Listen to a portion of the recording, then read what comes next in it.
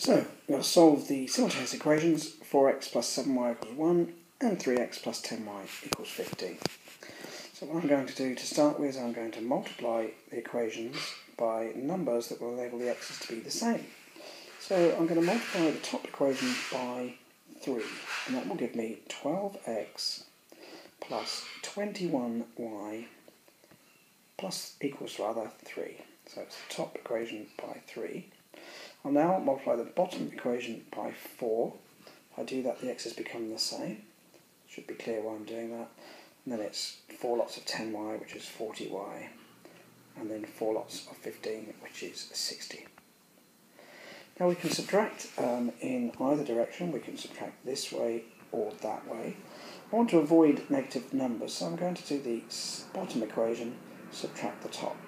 So 12x subtract 12x is 0. 40y take away 21y is 19y. So we'll write that in, 19y.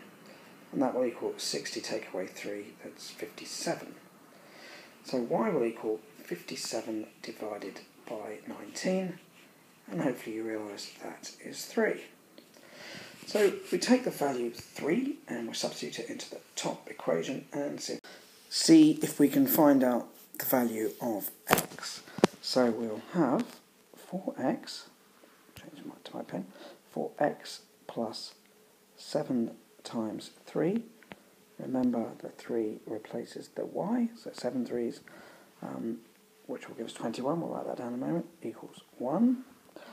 Let's pick up the pen. So we've got 4x plus 21 equals 1. That gives me 4x equals 1 minus 21. So I'll write the 21 in, so 4x will equal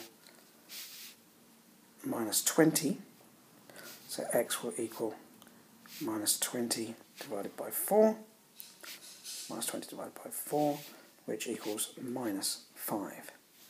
Now we can take the minus 5 and the 3 and we can substitute them into um, one of these two equations to check that it works. So I'll substitute them into the top equation, check that it works. So what we should see then is that 4 times the value of x, 4 times minus 5, plus 7 times 3 should come to 1.